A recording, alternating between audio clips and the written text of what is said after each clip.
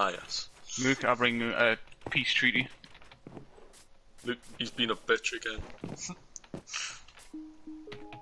oh, fuck.